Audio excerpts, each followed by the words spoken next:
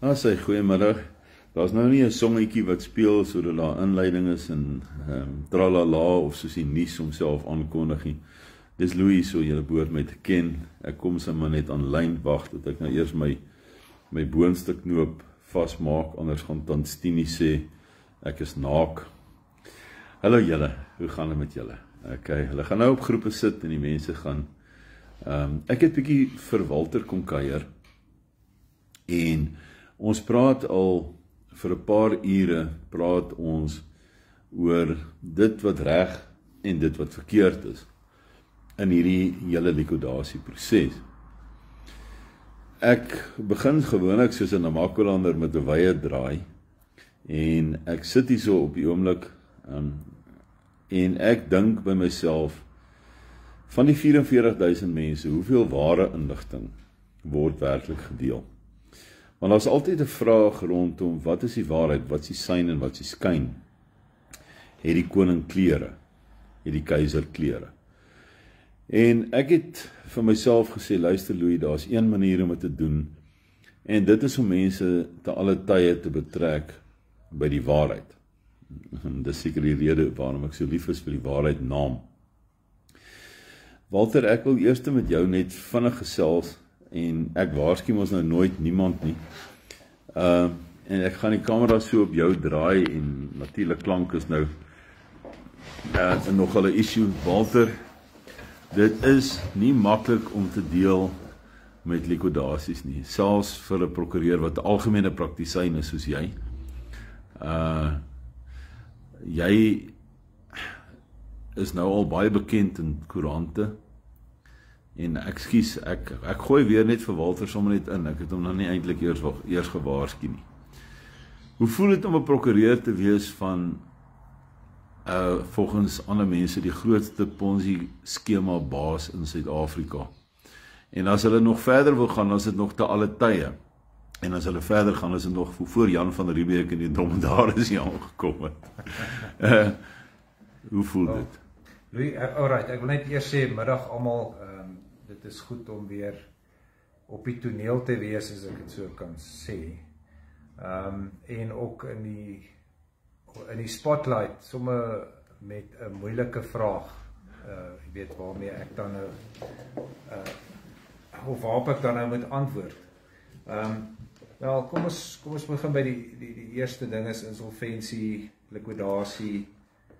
As ek nou aan die ander kant gesit het, dan sit ek nou met 'n klomp wette wat in my guns tel en wat ek kan gebruik et cetera. So so so van die aanslagkant af ehm um, is dit makliker. Maar as prokureur vir my ek luister nie na stories nie.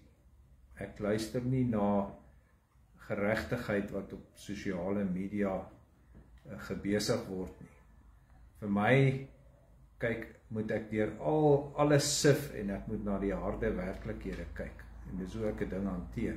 Ek hanteer 'n ding in die hof as daar 'n hofbevinding is dat 'n skema 'n Ponzi skema is en dit is so bevind nadat daar 'n uh, 'n uh, 'n regverdige proses uh, plaasgevind het, dan sal ek dit so aanvaar. Nou waar ek nou sit is ek nie die prokureur van 'n Ponzi skema nie. Daar was nog geen bevinding gemaak nie. Daar is onlangs uh geluide gemaak van dit deur 'n kommissaris wat die voorsitter is van 'n ondervraging. Dit is wat ek voor my sien, maar van 'n ondervraging wat nog nie afgehandel is nie. Daar was nog nie ventilasie van getuienis nie. Die bewyswaarde van van 'n uh, 'n uh, 'n uh, uh, kan ek sê wat in 'n uh, ondervraging gesê word is nie soortgelyk aan die bewyswaarde van wat in 'n regshof plaasvind nie. Nou Louis, jy het my 'n eenvoudige vraag gevra en ek gee jou nou 'n baie lang antwoord. En maak dis is ek. Maar daar's daar's daar's nie ehm um, kruisondervraging nie, daar's nie 'n toetsing van getuienis nie. Ehm um, jy weet dis 'n baie eensidedige proses en jy kan leidende vrae vra ehm um, kom ek gooi sommer een vir jou vir die vir almal wat nou inluister ook.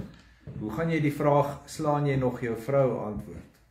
Sê jy ja, dan is jy skuldig. Sê jy nee, dan het jy jou vrou geslaan. So either way is jy skuldig. Nou dit is die manier hoe hierdie ondervragings plaasvind.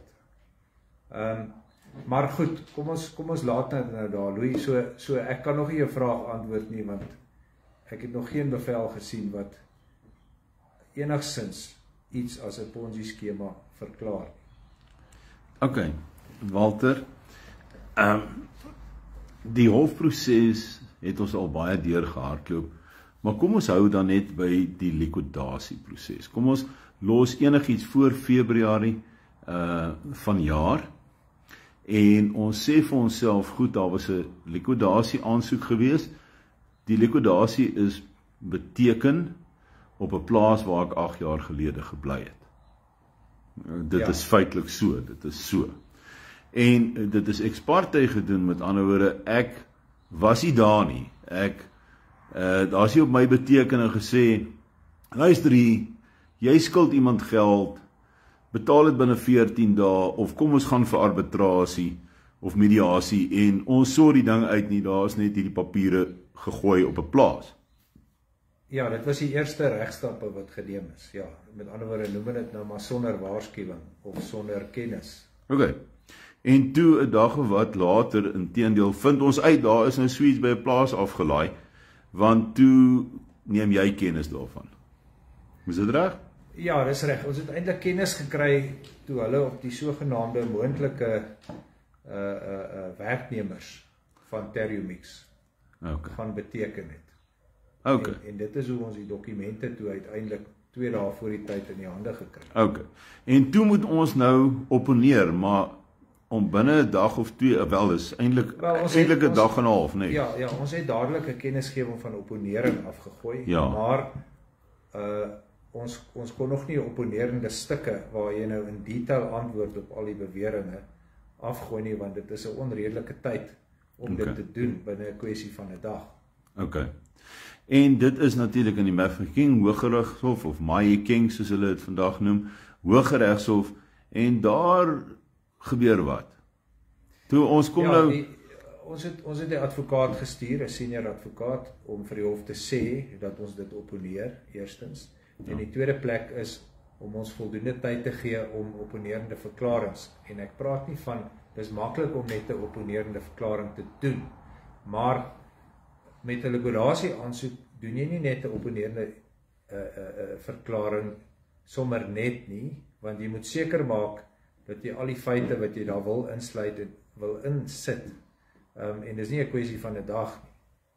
Ehm um, so Maar die hof het toe geweier om ons meer tyd te gee en die hof het toe 'n voorlopige likwidasie bevel toegestaan. Ehm um, daar was die Hoekom dink jy sou 'n hof uh wanneer jy wanneer die opponent of wanneer die respondent as dit dan nou reg is in daai geval 'n dag het om om sy verklaringe te doen. Hoekom sou 'n hof jou weier? en dan sommer net 'n voorlopige likwidasie toestaan. Kyk, uiteraard stem ek nie saam met die bevinding van die hof nie want die die audi alteram partem reël is mos nou 'n uh, uh, uh, uh, een van die fondasies van die reg om beide kante te kan aanhoor voordat jy 'n beslissing maak. Okay. So ek kan nie vir jou verduidelik gee hoekom die hof nou bevind het dat daar nie meer tyd toegestaan sal word nie. Okay. So die advokaat is 'n senior advokaat stap in Hy sê daar's nie stuk in die edelagbare gee ons tyd om te antwoord. Sy sê nee, doef voorlopige likwidasie. Groot baie mense se belange nou is dit sommer net daar. Korrek, ja, met die keerdatum van die 14de September. OK. Ja. En die 14de September is die keerdatum nog steeds wat basies 'n maand en 'n paar dae van nou af is. Dis reg. OK. Intussen tyd benader ons die hof en ons sê nee, ons wil hierdie datum antisipeer. Ons dink julle het te verkeerd te werk gegaan. Julle het ons nie tyd gegee nie en ons voel nie daar moet likwidasie wees nie. En ons nader die hof vandag stap ons nou met 'n klomp dik brille daar in by die hof en nou moet ek die datum onthou is erns in April. 13de April. 13de April. Is dit ja. nie onder die 13de is dit wat dit nie goed gegaan het nie. Dan's dit nie. Dalk moet ons teen ons mos die 12de dag gewees. Okay. Die 13de stap ons in en ons stap nou met dik brille en baie togas daarin en ons sê vir die hof luister hier, ons dink jy het verkeerd te werk gegaan en toe loop dinge nog vir ons skeef daai dag ook. Wel eintlik al wat gebeur het is ons het vir die hof gevra om die saak vroeër aan te hoor as ja. synde die 13de en nie die 14de September. Ja. En die hof het toe gesê nee, die hof wil dit nie vroeër aanhoor nie. Ja. Die hof gaan dit nog steeds uh die 14de September aanhoor. Ja. So die meriete van die oppositie ja. is nog nie hanteer deur die hof. Hulle het nog nie gaan kyk hoekom sê ons, hoekom sê Tarimix ons moenie gelikwideer word. Correct, Hulle het ja. daai feite geïgnoreer. So waarop was die fokus dan op die 13 April? Wel die fokus was was natuurlik kyk SARS het opgekom as 'n as 'n uh, intervening creditor. Ja, so hulle het tussen beide getree en gesê en ons hulle- is 'n krediteur. Ja, en hulle staan ook die likwidasie teë. Ja, nou ek dink ons moet dit herhaal. Ja.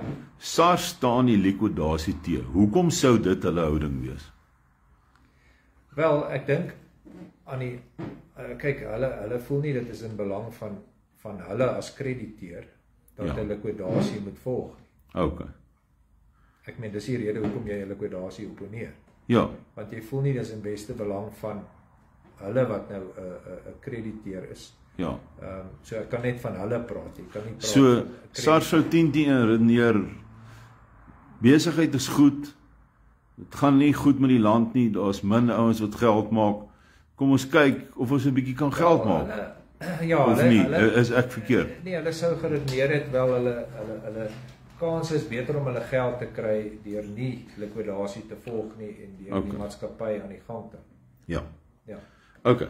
So dit gebeur op die 13de en die regter skop ons half 5 uur of half 6 die aand skop sy ons uit die hof uit en sê nee, ons moet na die 14de September nog steeds gaan. Ja, dit was die middag laatmiddag gewees. Ehm um, Okay. okay. die hof bevind sy sy gaan nie die ding vroeër aanhoor nie. Sy gaan dit dit gaan dit kan nou maar op die keerdatum aangaan Okay. op 14 September. Dis al goeie reg. Ek ek gaan op ander video's en op ander tye sonder om uh vir jou op die spot te sit, sal ek sekere ander ander goed inbring en inligting wat ek het, maar dis nie nou die forum of die tyd of die plek nie. Maar ek weet hoekom op daai dag op 'n sekere manier gereageer is. Maar dit is nou maar my huiswerk wat ek so aan die kant doen. Walter in die likwidasie aansoek was daar twee applikante. OK. En uh ons vergeet almekaar ek ruil almekaar hulle name om. en miskien kan jy ons help met die stukke, maar ek ek het dit altyd verkeerd. OK? Wel, ja, eh, eh, ek, ek, ek kan seker maar die name noem. Ja, as jy as jy wil, dis- ja. Dis dis dis Roan Smit en John Ray Verlieu. Is dit Smit? Het ek dit anders Botes, sorry man, Roan Botes, jammer. Ja. ek ek raak ook te mekaar met John, ja. Is Roan Jean Drey Botus en Viljoen. Jean Reviljoen. Ja. OK. Alraai, dankie. Ek doen dit almekaar en ek vra groot verskoning dat ek dit so doen, maar jy weet ek bly met op grys hare en 59 years Maar old. dit haak met my ook vas. As, as baie Smitte my bel die dag dan gebruik ek alles as Smit. Okay. Alraai. Ek wil ek wil in hierdie ding en hierdie is 'n baie belangrike video omdat ek dink die waarheid moet so, jy gebruik 'n baie mooi woord geventileer word. Die waarheid moet gepraat, gebesig word. Die twee aansoekers het 'n uh, kontak gemaak met jou. En daar was sekere gesprekke wat plaasgevind het en ek het ook nou daarvan te hore gekom later. OK. Nou kom ek net sê JV partners vennote en so aan is nie regsgeleerdes nie. Hulle weet nie hoe die prosesse werk noodwendig nie. Elkeen van ons het ons eie besigheidjie, ons eie ding aan die gang. Maar min of meer hoe werk dit om 'n likwidasieproses aan die gang te kry? Hoe hoe Wel- kry jy aansoekers wat dit doen? Wel, die eerste ding jy het 'n jy het applikante, 'n applikant nodig of applikante soos in hierdie geval. Ja. Aan die ander woorde jy ehm um, iemand moet die storie vertel en 'n eetsverklaring teken Ja. oor waarom likwidasie moet volg. Maar wat ek kos haak net gou vas, wat is 'n likwidasie? Hier hier hardloop nou 'n besigheid, ons koop en verkoop, ons gaan te kere of is 'n Ponzi skema of is 'n wat ook al in die naam van 'n maatskappy en nou kla iemand en hy sê nee, maar luister hierson man, ek kry nie meer geld nie. Ja, iemand met 'n likwidasie, iemand hmm. moet 'n eetsverklaring maak. Ja. Wat sê uh 'n maatskappy kan nie sy dag tot dag skulde betaal ja. nie. Hy's feitelik insolvent. Ja. Of dit is reg en billik. Ja. Dat 'n maatskappy gelikwideer word. Okay. So so so dit dit moet in iemand se verklaring staan in 'n eetsverklaring ja. van iemand wat 'n krediteur is. Okay. Van 'n maatskappy. Is JV Partners krediteure in Tarimix? Kyk, kontraktueel, daar's daar's 'n skriftelike kontrak. Yes. Okay. Nou die beste wat kan gebeur is dat hulle potensiële krediteure is. Met ander woorde jou jou eis het nog nie is nog nie due and payable. Met ander woorde okay. op eisbaar en betaalbaar. Nou as ons is, nou ja. ja. So daar moet sekere stappe gevolg word. Daar's 'n ooreenkoms tussen partye en 'n ooreenkoms is daar's 'n aanbod en aanname. En die oomblik as iemand jou aanbod aanvaar, is daar 'n ooreenkoms, het sy skriftelik of verbaal. Korrek. Ja, ja. As ek nou kontrakte reg eerste jaar onthou. Ja. OK. En die proffies het gewoonlik gesê jy stap kafee toe, jy koop 'n koerant, jy tender jou R5, hulle gee jou 'n koerant, daar's die kontrak gekonkludeer en jy loop uit by die winkel en baie dankie. Ja. Ja, so dis 'n kontrak. Dit hoef nie noodwendig op skrift te wees nie. In ons geval is dit op skrif. En daar's sekere klousules wat die verhouding tussen ons reguleer. Dis eh, ja, beide okay. partye se regte en verpligtinge okay. is in die kontrak vervat, ja. Okay. Nou dit wat jy nou gesê het is wanneer 'n JV partner of 'n vennoot of 'n belegger, kom ons noem dit enigiets, jy weet die die ouens wil graag hê dit moet beleggers wees. Ek wou graag gehad het hulle moet beskou word as JV partners, maar maak nou nie saak nie. Daar's daar's dispute daaroor. Corrie Kloete het gesê nee man, dit moet 'n 'n forward sales agreement wees. Ek het gesê ja. nee man, maar wat is die werklikheid hierso? Ek het 'n klompie ouens nodig wat saam met ons in besigheid inkom. Hulle verstaan die risiko's, hulle verdiskonteer dit. Hulle weet hulle moet nie meer as 10% van hulle geld insit nie en ons doen hoë risiko besigheid en nou gaan ons 'n koop en 'n verkoop en 'n of watter wat is ook al myn nie myn wat ook al gaan ons besigheid saam doen. Da, dit is hoe ek dit verstaan in ons ooreenkomste en party mense kan nou stry daarmee. Nou om daai verhouding dan nou te beëindig uh, kom 'n JV partner en hy sê luister Louis het my nie betaal nie op die keerdatum jy het gesê 3 maande later gaan jy vir my my kapitaal en my wins of wat ek wil gee en nou doen jy dit nie wat wat behoort te gebeur Wel ek dink ek dink jy moet eers jou remedies in terme van die kontrak uh, uh moet jy moet jy eers uh, uitput. uitput ja. Okay so, so as ek reg is in administratief reg in my 3de jaar het hulle gesê luister hierso jy moet eers jou interne remedies uitoefen en dan kan jy verder gaan en dan kan jy nou ou in mora stel. Met ander woorde jy kan vir hom 'n sekere hoeveelheid dae gee waarbinne hy moet reageer en jou geld vir jou gee. Ja dis reg. Onthou onthou jy jy jy is in terme van die kontrak kan jy besonderhede vra van jou transaksie okay. dan kan jy dit debatteer dan is daar nog jou arbitrasie en uiteindelik is daar jou jou jou jou kennisgewing waar jy 'n party in mora stel soos jy dit nou noem met ander ja. woorde en en daarna kan jy eers ehm um, jou jou hofremedies uitoefen. En mora beteken dat jy om 'n sekere hoeveelheid dae amper DSG en jy sê vir hom luister hierso betaal my terug en as jy my terugbetaal nie dan gaan ek jou dag vaar. Korrek, korrek. Okay. Ja. Okay. Wat ek deesdae sien gebeur is ou raak kwaad. Hy sit, jy het my nie terugbetaal nie, Louis. Ek hardloop na my laaste polisiestasie toe of nog maklik ons het sosiale media en daar's Veronica Peers, Jana Venter of daar is Jean Oosthuizen wat in die strand sit en hy is 'n gefrustreerde joernalis. Jy mag dit nie sê nie, ek sê dit. En um en hulle vorm vyandgroepe en blokgroepe en dan betrek hulle almal, kry almal kwaad en hulle kry regsadviseurs daarop en hulle kry ehm uh, likwidateurs daarop en hulle kry polisman, hulle kry die valke. Ehm uh, ek het nie opgemerk dat daar judges nie, maar hulle kry mense wat ek ken nie skouprofiele se adresse, name en hoeveel hulle in 'n banke het, want ek doen my huiswerk. En dan sê hulle vir hulle, luister hierso, kom ons gryp vir Louis. Dis hoe dit werk. Nou is die eerste stap nie dan om vir Louis 'n brief te skryf en vir hom te sê jy skuld my geld deur 'n prokureur nie. Maar wat hulle doen is hulle hardloop na die polisiestasie toe of hulle bel uh die valke. Jy weet of hulle is Tian en hulle sê vir Louis se hele database wat hy het, wat hy sommer vir almal beskikbaar stel, AI switch. Uh vat ons 'n hele database, dan gee hy dit sommer vir almal dan sê hy luister hierso Valke. Jy gaan nou 'n klomp oproepe kry, die switchboard ek wil amper sê ek switch beach. Ek wil nie dit doen nie. Sy kry die oproepe en hulle sê julle moet teen Louis ageer want hy's 'n kroek en hy ran 'n piramide skema. Dis hoe dit tot dusver gewerk het. Ja, kyk, eh, kom ons begin by die valke. Ek is nie seker hoe hoe hulle die geld gaan gaan gaan terugkry nie. Ehm um, ek meen as ek nou as prokureur en ek dis my persoonlike styl. Uh as iemand na my toe kom uh en en hulle wil geld ingevorder hê, dan gaan kyk jy gewoonlik na wat is die best moontlike roete om dit reg te kry. OK. En om buffeltaktiek te gebruik waar jy die kop laat sak en storm. Dis nie dis dalk lekker, maar dis nie dis nie altyd die slimste manier om dit te doen. Veral nie veral nie as jy met 'n ervare opponent sit. OK. Ja. Alright, sou jy sê ek is 'n ervare opponent of nie, Walter? ja. Wel, dan ek moet nou die die scenario ja. wat teen jou ageer. Ja. Uiteraard sal ek mos dit nou sê. Ja. Ek meen natuurlik is jy 'n ervare opponent. OK. OK.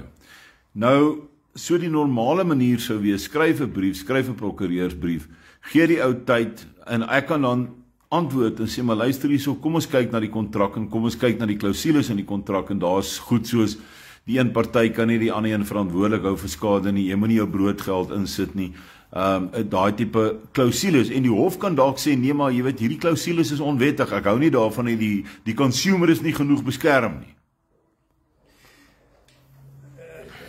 Ja maar ja maar kyk kyk die kontrak self is is is wat hy is. Met ander woorde uh uh, onthou die, die die Consumer Protection Act is nou nie van toepassing hier nie. Ehm uh, dis dis dis 'n transaksie wat wat uh, myns en siens redelik duidelik is. Okay. Alraai, maar kom ons sê hulle sê Louis is 'n ou bedrewe Ponzi skema operateur. Hy doen dit net voordat hy uit sy ma se maag uitgekom het en hy het nou iemand in 'n kontrak vasgevang en hy sê luister ons koop en verkoop of ons begin myne of wat ook al die geval mag wees.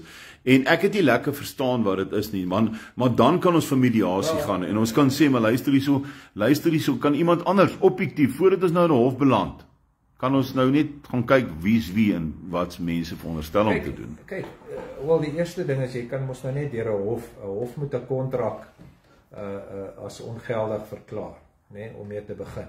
So ja. moet in elk geval in die hof nou beland om 'n kontrak ter syde te stel. Okay. Nou, nou nou as 'n kontrak dan nou dan nou nietig is of of so dan moet restituisie plaasvind waar die mense dan hulle kapitaal wat hulle as jy as jy nou die een kontraksparty is en die hof bevind nou jy het nie verstaan wat die kontrak sê om een of ander rede nie. Ehm um, en die kontrak is nietig dan kry jy die kapitaal dan moet die partye teruggeplaas word in die posisie soos hulle was. Restitutio in integrum het ons al ja, dit ja, gesê. Ja, op kontrak sluit dit. Ja. OK.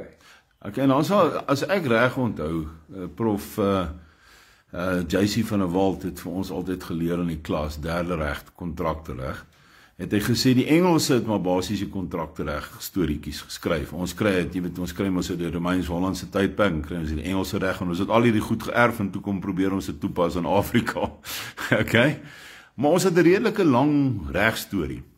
Maar een van die dinge wat ek baie baie goed onthou, peril evidence rule. Jy kan nie eintlik hier's hier's 'n kontrak. Okay. Jy kan nie nou die peril evidence, die die die mondelinge uh dinge hier aan die kant nie. Nee nee, hier's 'n kontrak en hier's die terme. Louis sê, "Oké, okay, ek koop en verkoop diamant." Ja, jy kan nou nie omringende omstandighede inbring nie. Ons bly by die kontrak. Ja. Nou watter wat ek ervaar met die met die met die groepe op sosiale media. Hulle bring 'n klomp ander omstandighede hier in. My ma, my pa, hoe waar ek groot geword het, wat ek doen, dat ek dalk dit of dat. Hoe hoe geldig is dit binne 'n blote transaksie tussen twee mense waar daar 'n aanbod en aanname is. Ja, onthou dit kom terug na die na die die die die eenvoud van die kontrak en die transaksie. Ja. Ehm um, ek meen ek meen as mense byvoorbeeld nie 'n kontrak as jy nie 'n kontrak lees voor jy hom teken nie, dan kan jy hom so eenvoudig maak as wat jy wil of jy kan soveel goed insit wat jy wil Dit gaan nie 'n verskil maak nie want die persoon lees nie die kontrak. Ja, want ek het al ja. gehoor van hierdie baie slim mense op sosiale media sê, "Me die mense het nie die kontrak gelees nie, Louis." Maar en en en dan was daar nog slim mense wat uh, gedurende die ondervraging in van die getuienis wat nou later uitgekom het in hofsukke want wat wat die likurateurs op die oomblik doen hulle gebruik die en uit so die kommissaris regter Bertelsmann sê hierdie ding is 'n privaat dokument maar dan vir Won Victor en die likurateurs wat hulle doen is hulle gaan gooi in hofstukke asof dit 'n verslag is wat eintlik aan die meester gelewer moet word. Gooi dit vir die hof, dan sê die openbare dokument dan gebruik almal dit en die koerant, dan sê dan sê die volgende agent Jana uh, van der Merwe, dan skryf sy daaroor asof dit nou die gospel is. En, en verstaan jy wat ek besig om te sê? So hierdie is eintlik 'n konkoksie, maar jy maar jy hoef dit nie te sê nie, ek sê nee, nee, so. Nee, ek sal dit sê. Ek ja. sal dit sê daaroor.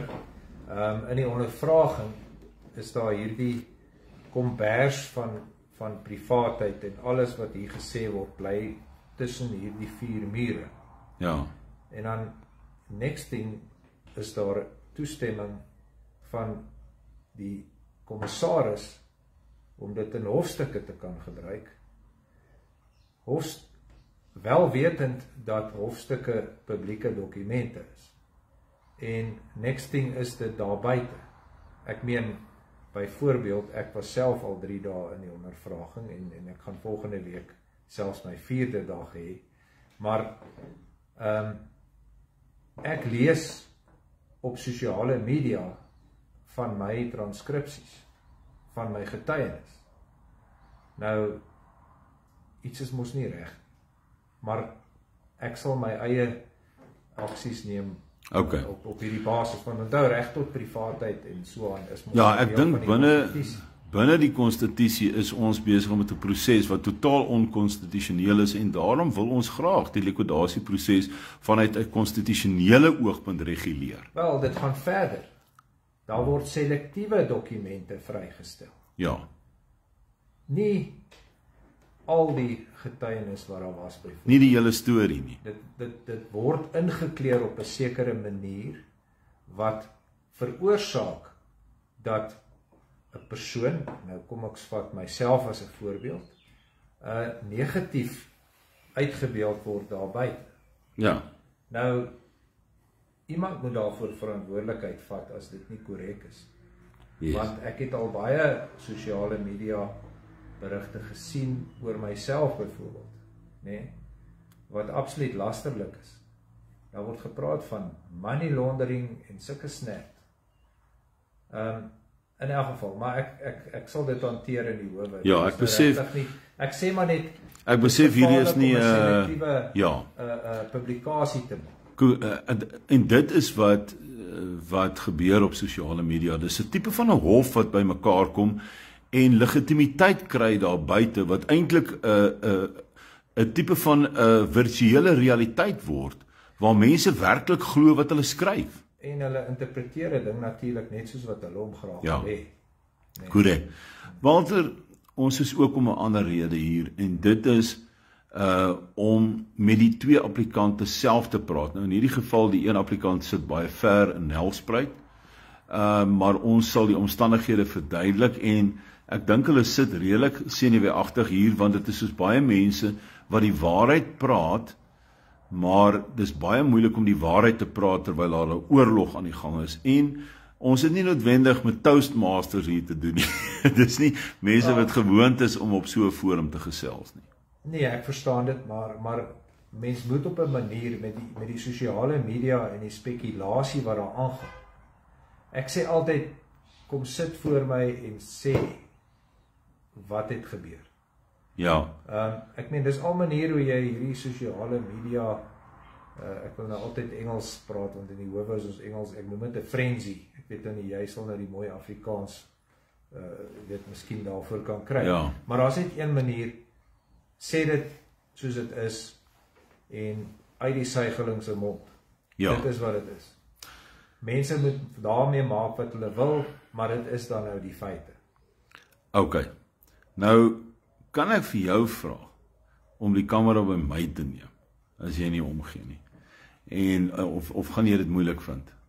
Of ek kan vir Desie gou kry om dit Nee nee, ek kan natuurlik kan ek dit. Okay, as jy nie omgee nie. Nou wat ek nou gaan doen is ek gaan hom nou omdop en dan gaan jy nou hier's nou net hoeveel is ons vier mense in die vertrek. Daisy is nie hier nie, maar kon haar nader trek. OK. Walter, jy kan hom nou net self vat en dan omkeer en dan ek gaan jou eerste begin. Ek gaan jy omgee as ek met jou gesels, jou eerste. Ons moet redelik naby kom van weer die klank. Ja. Dit gaan nie so seer van weer die visie. Nou moet jy hom ja, jy moet hom omkeer en dan moet jy Kan ek hom so sit? Nee, nee, hy gaan nie werk so o, wanneer dit 'n live is nie. OK, hier kom sy, maar Miskien 'n meer ervare hand, maar okay. Sy OK, wat gaan jy kom help? Baby of Ja, ekskuus ek dog. OK. Dit moet net naby kom. Dit en jy ken ons hierdie posisie, die juxtaposisie.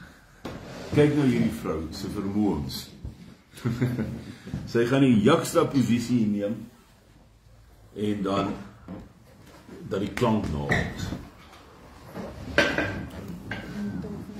Sy het 'n lang doen man. Ja, ja, nee, hy sal Cheers. Ehm Dames en here, liewe vriende. Ehm dit vat baie moed vir die volgende persone, vang jy my mooi baby. Dit vat baie moed uh, vir die volgende persone en daar gaan glad nie aan hulle voorgeskryf word hoe om te reageer en wat om te sê nie. En ek ek uit die aard van die saak is die is die vraagsteller of die persoon wat die gesprek gaan hê. Maar um, ek wil julle graag voorstel en ek wil graag hê die persone moet hulle self voorstel, net net die voorstel en dan kan ons aangaan met die gesprek. Middag julle.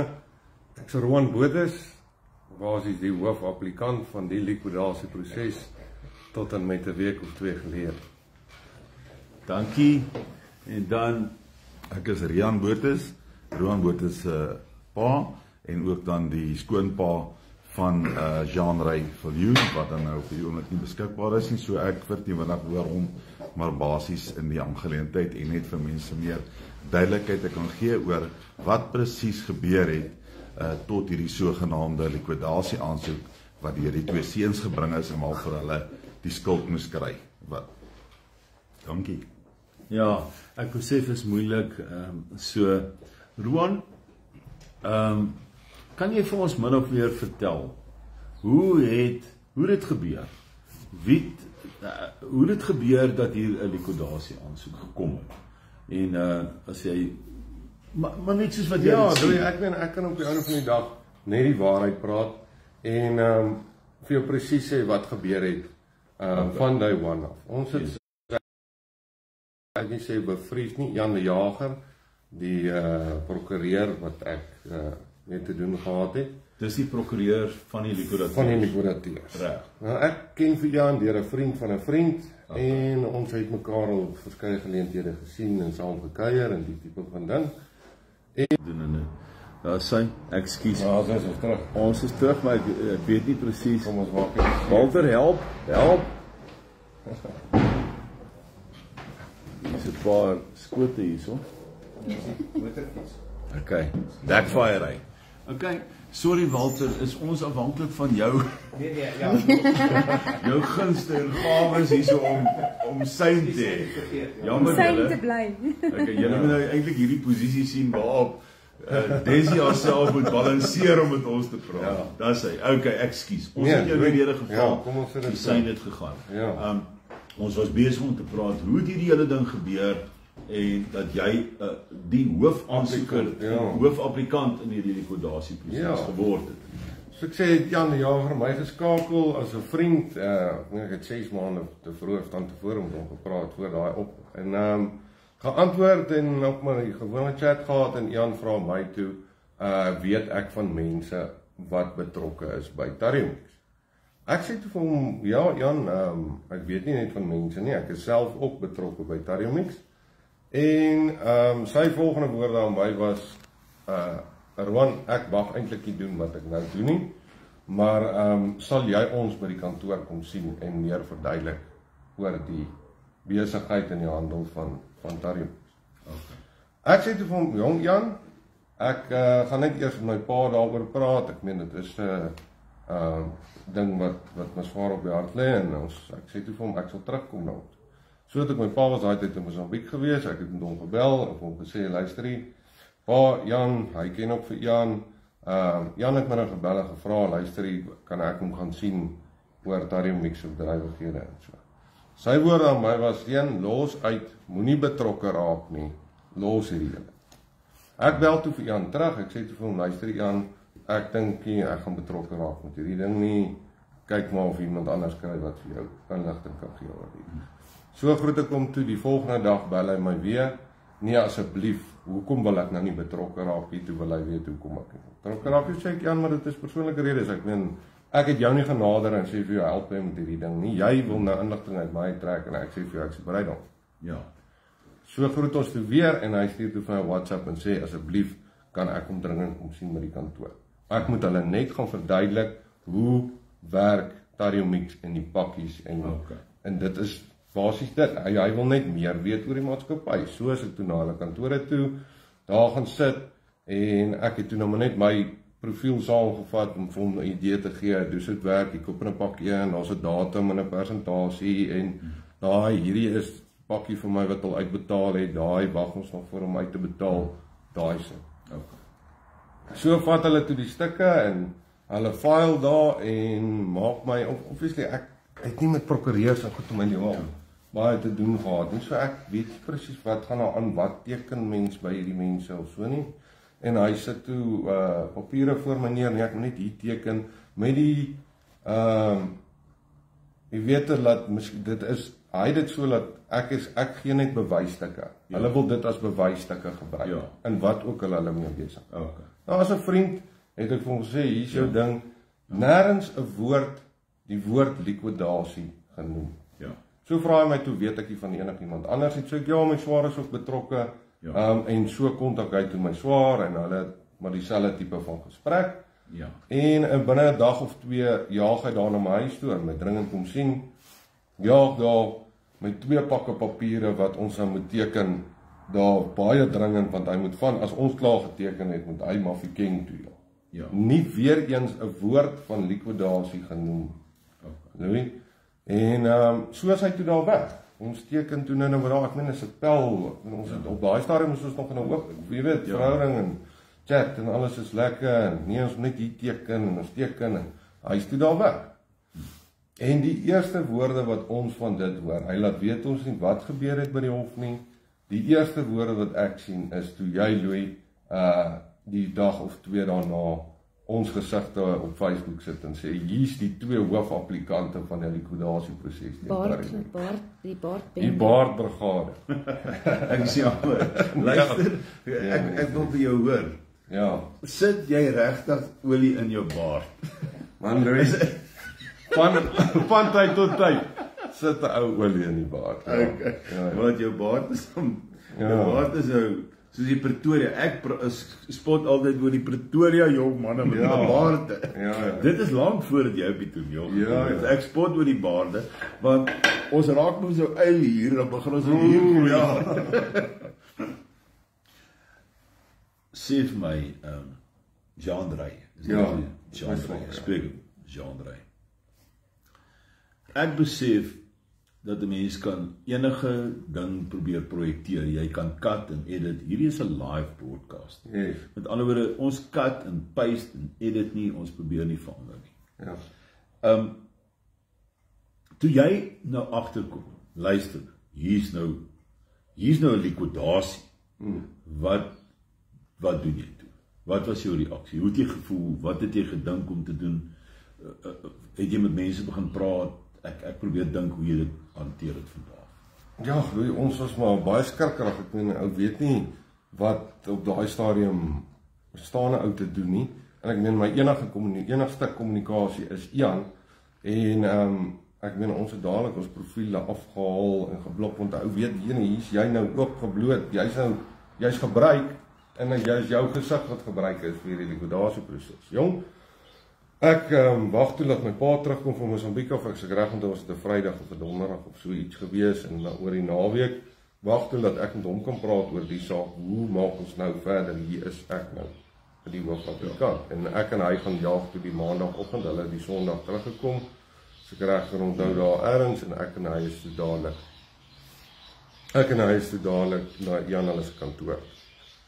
En daar het ons gaan sit en ons sê toe vir Jan, hoorie luister wat gaan hier aan? En hier, nee, ons moet nie worry nie.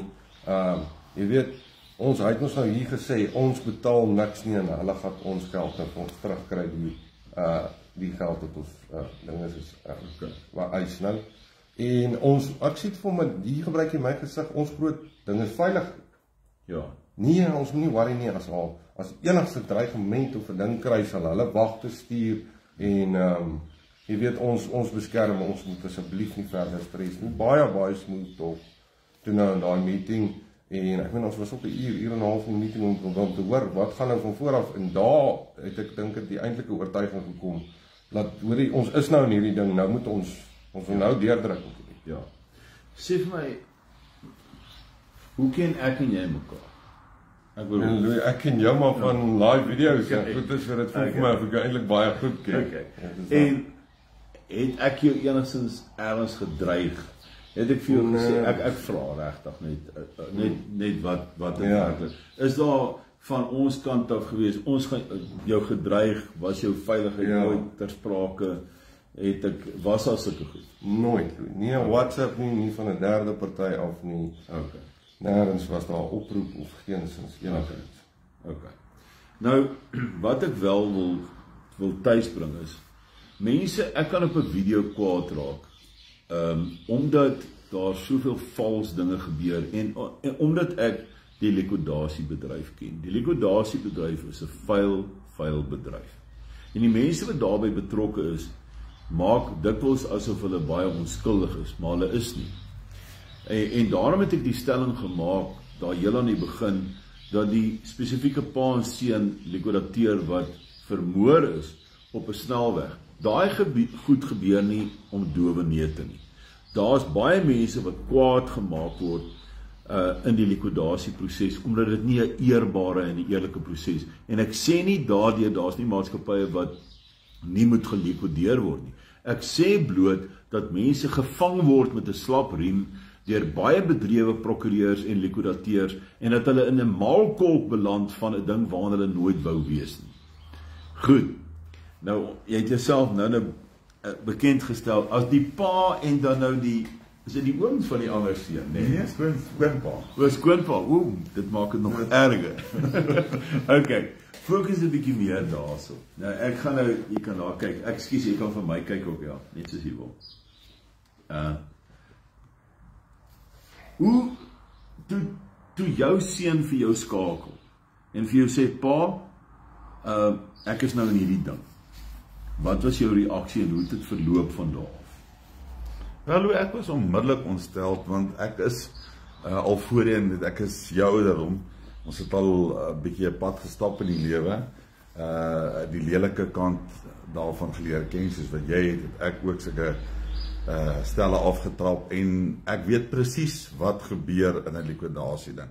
So toe ek gehoor het Roan sê vir my hulle kontak hom en daar word vrae gevra, het ek dadelik geweet. Ek het hom reguit gesê, moenie laat hulle jou ooreed om 'n likwidasie aansoek te bring nie, want daar gaan nie, jy gaan net al die mense wat jy wie vennote is, gaan jy skade berokken. Jy gaan Die 44000 mense wat JB vernoot is, gaan jy vyande maak. Want jy gaan veroorsaak dat daai mense dalk 10 of 15% uit die rand uit van hulle geld gaan terugkry. So nou maak jy uh om jou paar rand terug te kry wat nie eers 'n verskriklike groot bedrag is in 'n besigheidswêreld terme nie, wil jy nou ander mense wat dalk miljoene daarin het, ehm um, wil jy gaan basies uh veroorsaak dat hulle dit verloor. En ehm um, dis jy gaan niks meer bereik niks daardeur nie.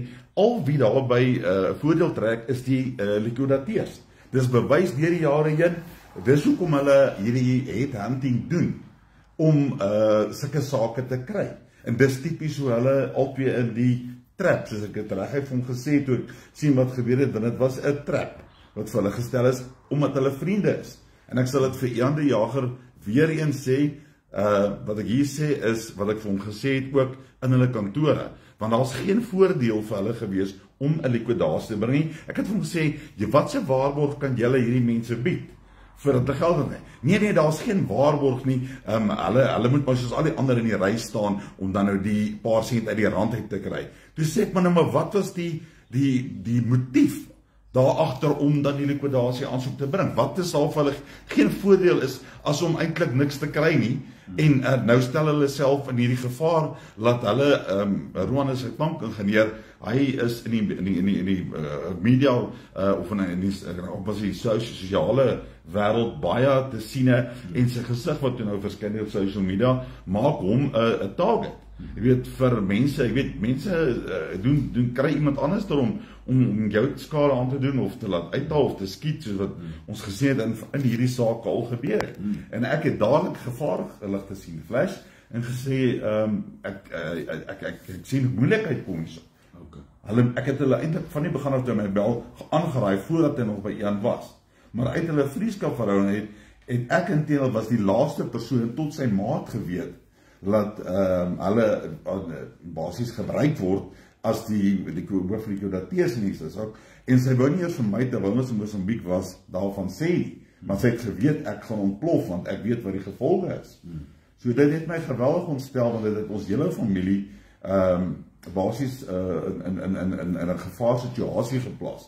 Uh dit was so dat my vrou ons dadelik geblok het van al die media uh social media platforms af en ons het selfs ehm um, uh op 'n stadium basies het oorweeg om om om van die ons huis af uh weg te beweeg in, by familie en vriende te gaan bly tot die die stof net gaan lê. Want ons het geweet dat hierdie ding gaan gaan 'n paar rippels veroorsaak.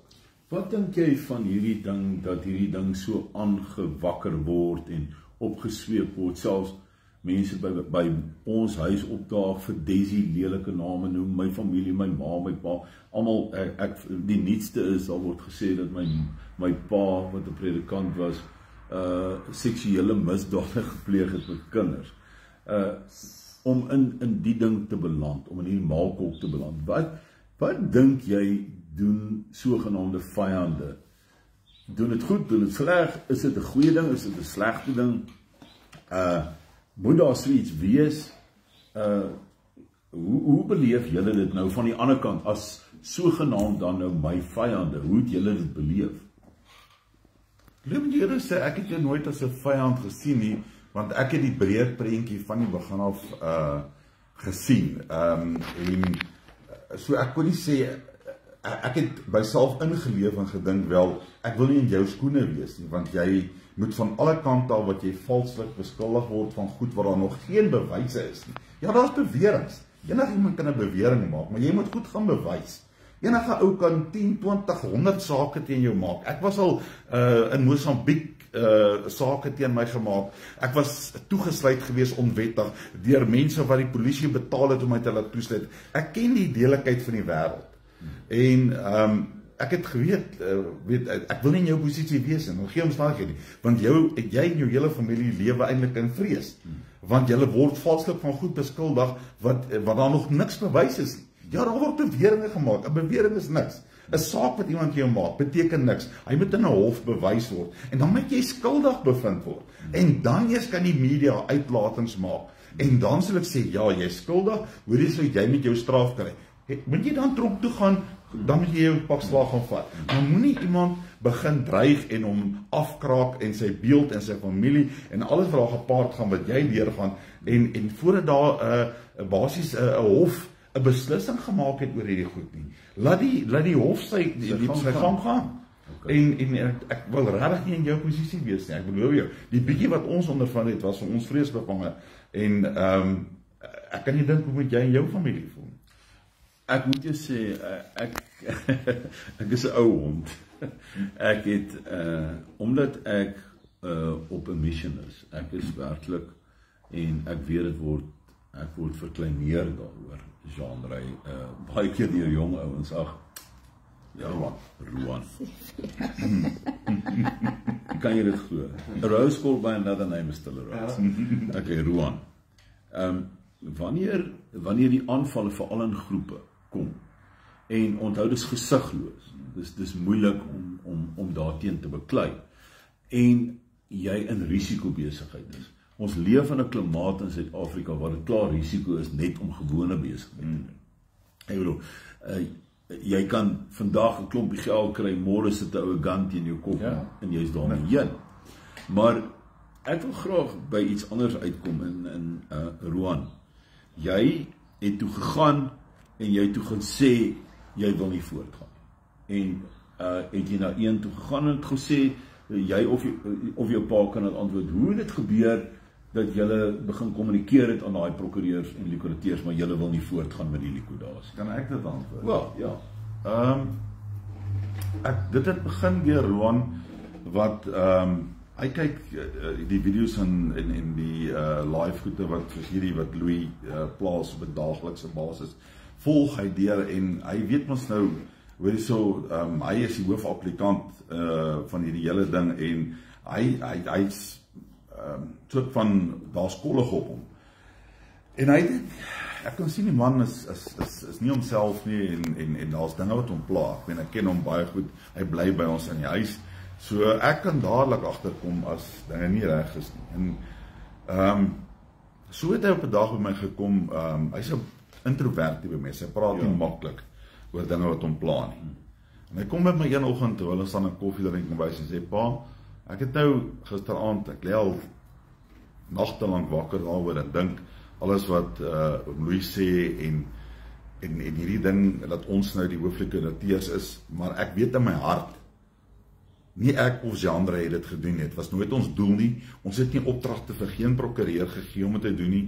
Ons is valslik misbruik, mislei en om die bos gelei soos die ou mense dit noem om uh basies 'n uh, gesig uh, of 'n persoon te kry wat basies die likwidasie kan bring en dit deur 'n vriendskap. En en dis dit het gewo, uitgeworstel daarmee ek kon dit sien. Hy het gesê pa ek wil hierdie saak regstel. Ehm um, die die die um, hy het reg vir my gesê dit plaaslike gewete?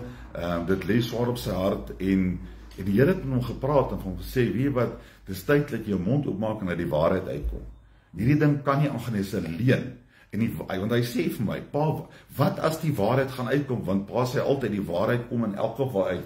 Pa was van baie sake aangekla en altyd gesê ek die waarheid sal my vryspreek en dit het jou vrygespreek. Wat so is ek hulle kan getuig daarvan.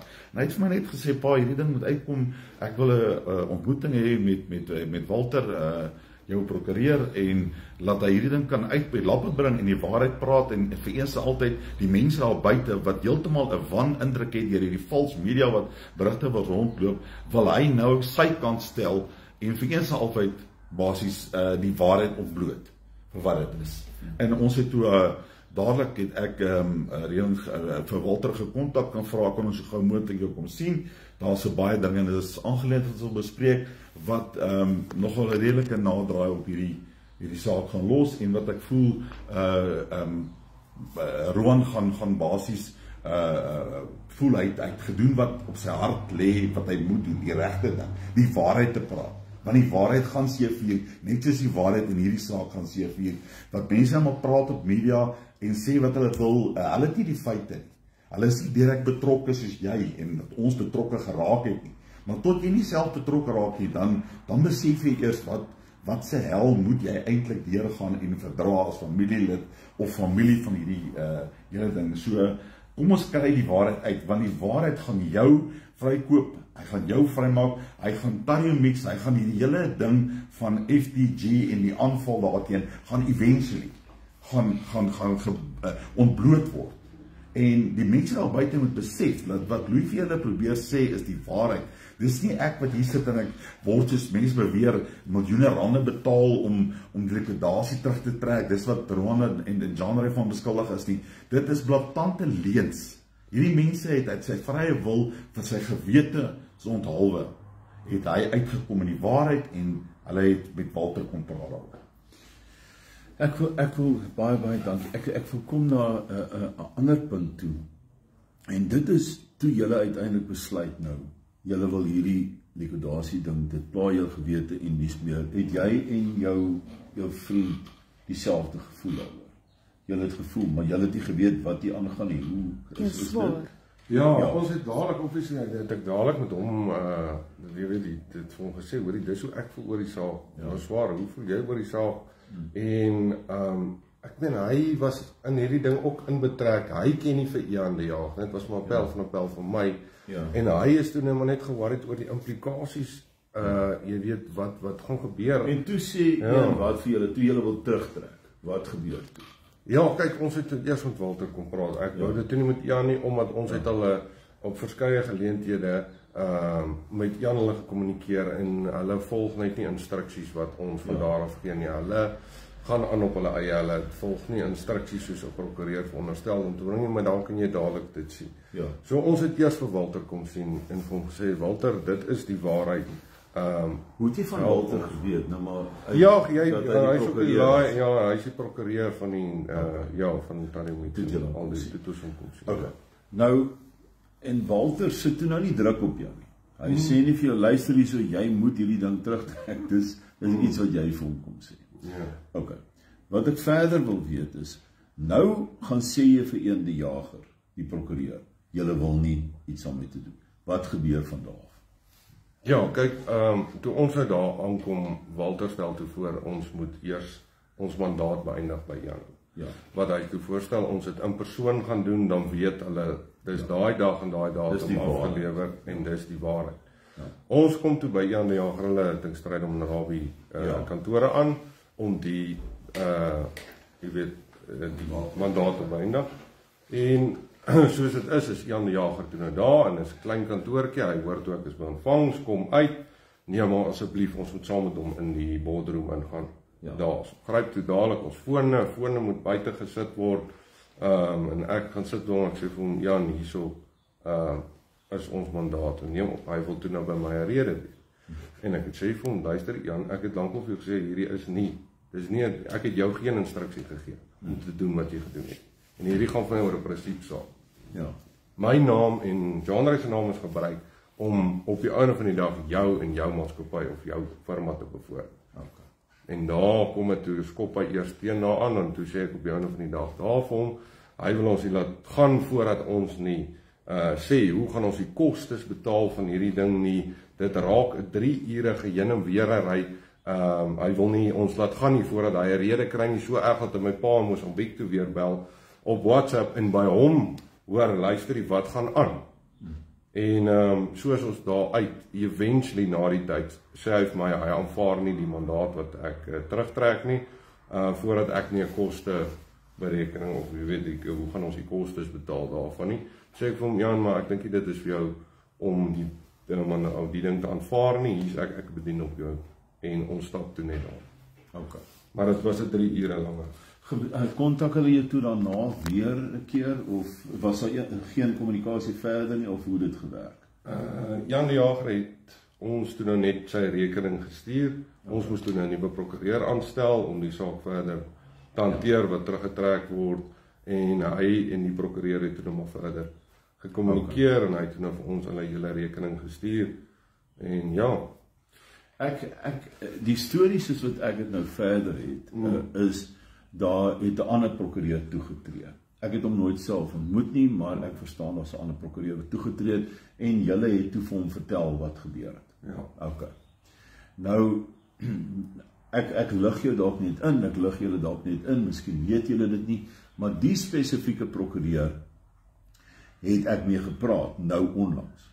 En wat werklik daar gebeur het in Mafeking het sy kollegas na hom toe gekom toe hy die terugtrekking wil doen. Toe sê hulle vir hom is jou testament reg. Dit is reg, hy het dit vir ons ook gesê. Ja. So wat werklik hier gebeur is mense wat wil terugtrek en wat nie 'n likwidasie wil hê nie, basies indirek hulle regspersone word met die dood gedreig. En dis wat hier gebeur het. Het jy 'n kommentaar daaroor miskien te lewer of so? Jy het gehoor Ja, daarvan? waar, dit is presies hoe dit was. Ja. Hy het my gebel en gesê, "Roan, I'm going to handle this uh, matter and do the withdrawal as soon as it's done. I'm ending my mandate." with you." Ja. En ja, maar I can't, ja, my family is in that. Ja, hy die prokureur het onder andere uh vir hom reguit gesê dat ehm um, sy lewe en sy uh, familie se lewe is, is in gevaar gestel en hy het uh, dreigoproepe gekry as hy nie uh onmiddellik van die saak onttrek nie. Ehm um, en soos wat Louis reg sê, ehm um, of sê testamente goed reg is. So is dit nie 'n doodstregement is of 'n afdreg nie vir 'n prokureur wat net uh namens 'n kliënt wil optree, dan weet ek nie, maar ja, dit is die waarheid. Dit het wel gebeur. Ek het so 'n gesprek met die prokureur gehad en hy het bevestig en ek moet vir julle sê eh, dit dit dit klink nou vir julle snaaks. Ek word deur min goed verbaas in my lewe. Maar hierdie hierdie spesifieke gebeure het my verbaas. Ek kan nie dink dat ons land so ver geval het dat mense in regsprofessie in howe uh uh so korrup geraak. Hmm dat uh, dat mense se lewens is basies in gevaar net om reg en geregtigheid te laat seefie. Nou goed, julle trek dit toe terug en nou die dag gaan ons toe na hof toe. En ek wil jou eers te vir julle sê baie baie dankie vir julle moed van julle oortuiging dat julle na die hof toe gegaan het in Mafeking. En die hele dag daar was 112 sake. Jammer, dit was heeldag. ja. Was ons in die hof gewees? En al wat julle wou doen is julle wou onttrek as applikante. Is ek is is ek reg? Is dit so? En ek besef ons praat nou namens jou en jou swaar. Ja. En ek glo jou swaar sal bevestig want hy het nou ook die toestemming. Ja, okay, die toestemming gegee. Ons kom in die hof en daar's 112 sake en die regter laat dit afstaan die hele dag tot die laaste saak, 20 oor 3. 20 oor 3. En toe sê die regter, maar nou kan ons nie die saak hanteer nie want 4 uur gebruik sy nog die kom uh, een of ander weapons compensation gaan dan nie meer geld. Hulle kan nie na 4 uur aangaan nie, maar ons saak word heel laaste aangehoor. En miskien kan julle net sê van julle kant af wat wat het julle daar beleef toe nou? Wat gebeur? Wat sien julle toe in die hof? Wel ek was in my lewe al 'n paar keer in 'n hof en ek weet uh, nogal redelik ek is uh, vertroud met die prosedure daar. Maar wat vir my die eerste plek ehm um, skokkend was uh van hierdie hele aanhoor van van van die verskeie partye se verweer uh, hoekom die saak dan nou al dan teruggetrek moet word want hier sit die twee applikante hulle wil hulle saak terugtrek hulle advokaat is daar om hulle teenwoordig hy sê ook toe nou presies uh laat hy die al die saak wil terugtrek en laat daar ewen van SARS uh geen teenstand te sien van al die partye betrokke is daar geen teenstand nie. Hulle het klare ehm um, ek sê goue het gegee, konsent gegee dat die, saak teruggetrek word. En uh so draai die uh geleentheid toe nou om waar die uh verdedigende sê maar uh, Arabi en en en en ehm um, Vrydoms advokaat wat reg want hulle dit is buite hulle jurisdiksie. Hulle kan nie daar optree self nie. So hulle kry advokate wat dan daar optree. Kan ek net daar inkom? Ek wil dit net vir, vir julle verduidelik. Die likurateurs tree toe in die saak. Hulle kom sommer net met 'n bondel, so 'n stuk papiere. Hulle onthou nou hulle het nie die reg om om aan haar hof te wees nie, nê? Kom ons stel dit so. Hulle is nie 'n party tot die geding nie. Hier is die twee applikante. SARS wil nie die likudasie hê nie. SARS sê hulle wil nie 'n likudasie hê nie. Die likudateurs daag by die hof op. Luister mooi, die likudateurs daag by die hof op waar hulle nie 'n party tot die saak is nie. Hulle gooi die hof met honderde bladsye daar. Die regter aanvaak aanvanklik preek vir hulle. Daar gebeur iets daar in die hof. Sy aanvaar die stukke en sy laat die likudateurs se se advokaat Hershenson praat en van daar af skop sy die saak uit 112 sake later net voor die einde van die dag en dan sê sy nee nee nee ons werkers kan nou nie meer werk nie. Uh, uh nee wat uh, uh rule easy extended asof sy enigstens gevra het om enigstens met 14 September enigiets te doen te hê. Louis kan ek sien julle? vyf voet wat vir my Okay ja. Nogal redelik ek uh is sê is nou nie 'n regsgeleerde nie maar ek weet so 'n bietjie van die gereg om te weet dat uh daar het vir my 'n ding gebeur in daai hof wat totaal en al uh ongehoord is. En dit is toe die likudateurs uh sommer skielik daar sê ja, ons hoor nou julle uh julle hoof uh, aansoeke like van die likudateurs omtrek, maar hoor jy ons sit nou met 10 nuwe uh liku uh, daar 13 dink 13 ekskuus. Ja. en sy pluk dadelik daar uit en sommer net 'n lys. Ja, ek meen volgens my kennis kan jy nie uh net daar op die dag van die hof uh waar die saak basies uh moet teruggetrek word, kom dit met 10 of 12, 13 nuwe likwidasie aansoekers nie. Ja. Dan moet heeltemal die een saak moet afgesluit word en die volgende is hulle kan dan weer 'n 'n nuwe aansoek bring. Maar die besaak betrokke saak waarvoor ons daar was, was om uh Roan en en Jean Reis se saak terug te trek. Ja. En dis nie uh, gedoen nie. Dis net van die hand gewys en uh, daar skielik gesê toe die uh, uh regter vra maar julle kom ons sien nou mense se bring hier daar dis sy het dit ewen gesê vir hulle toe dog ek dadelik wel ten minste weet sy uh, dit is onwettig jy kan nie nou nog applikante inbring hierso nie hulle dit is dit is teen die die die die, die ja. wet ja uh tog het sy en dit aanvaar of dit gebruik om maar oortuiging ek weet nie wat nie maar uh die bottom line is daar is onreëlmatighede vir my van die begin af met hierdie saak, as jy na Louis luister, ek was nie die eerste keer daar nie, die manier waarop hulle uh, uh, kennis gestel is, die min tyd wat gegee is, nou weer uh, hierdie terugtrekking, um, al sê in normale omstandighede sal so 'n saak onmiddellik teruggetrek word. En ja, as daar dan nuwe uh, likwidasie uh, likwidateurs wat aansoek doen uh, of of uh, om die company te likwideer, dan gaan jy mos nou 'n nuwe prokureur bring en jy gaan uh, jou saak stel en daar word 'n nuwe saak oopgemaak teen Tariumits. Maar jy kan nie die bestaande saak wat teruggetrek moet word net eenvoudig bygooi nie. Daar's 'n keerdatum. En daai keerdatum vir nuwe mense bykom was afgesluit gewees. Goed. So uh, is nou jammer Walter is nie hier nie. Ek hoop hy hoor ons en hy kom nader. Want hier is die bottom line. Uh, ja ja. Ja, hou maar net. Hou maar net. Hou maar net terwyl Walter nou nader kom, want hier gaan nou 'n regsargument nou moet gevoer word. Is hier is waarom die likwidateurs en die prokureurs vir die likwidateurs uh, Susan Strydom en Walter jy kan nou hoor wat ek sê en hier is die rede waarom die die uh die saak waarom die likwidateurs toetree uh in 'n hofsaak waar hulle nie eers 'n party is nie en en Walter ek gaan die volgende stelling maak. Wanneer die twee aansoekers gesê het hulle wil nie deel wees van 'n likwidasie nie, dan is die normale prosedure gaan na die hof toe, trek die saak terug en daarmee heen is die likwidasie verby.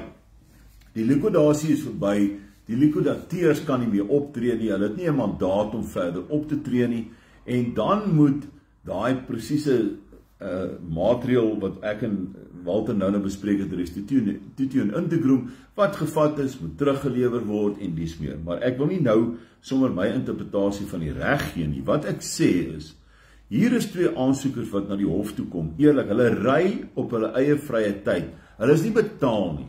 Hulle is nie petrol nie. Inteendeel ek het toe ek nog hulle rekening waar hulle een kan sit later waar ek hulle net gesien het ons by die spur opdaag, ja. wil ek hulle burger betaal. Hulle het die burger se betaling geweier.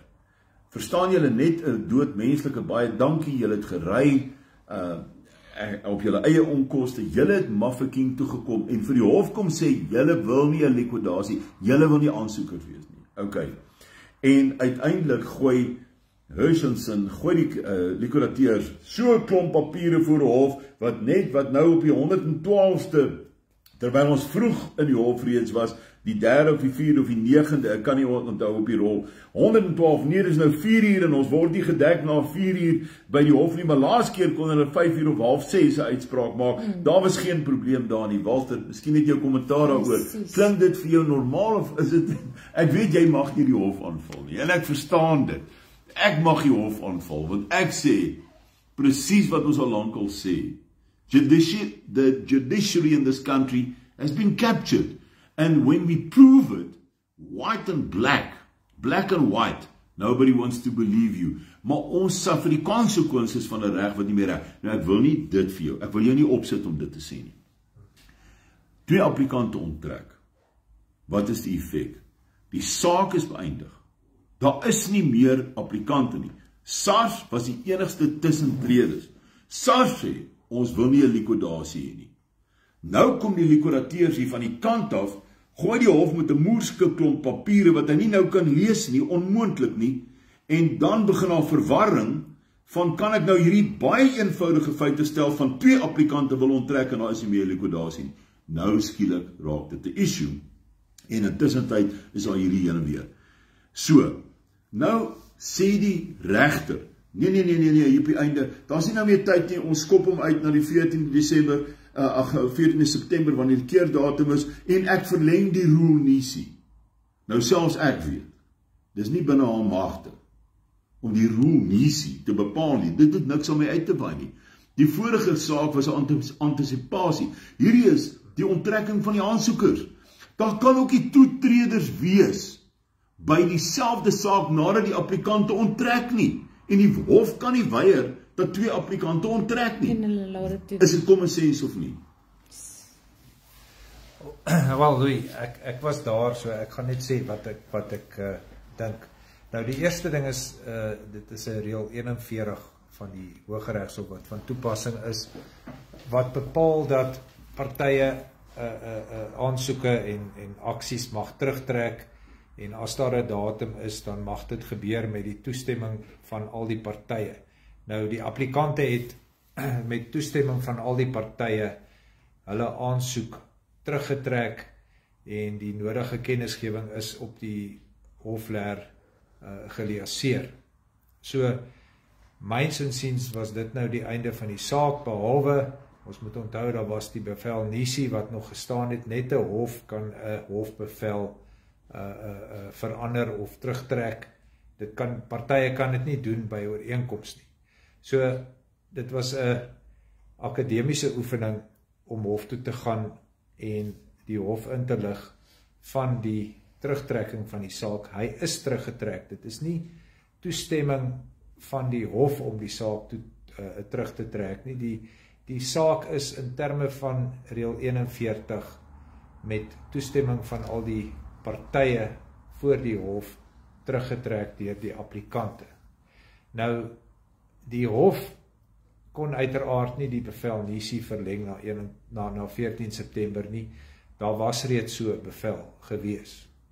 Um ek dink wat die hof gedoen het is om die aansoek om opheffing van die bevel nisie uh uit te stel na 14 September uh want daar was nie meer tyd nie.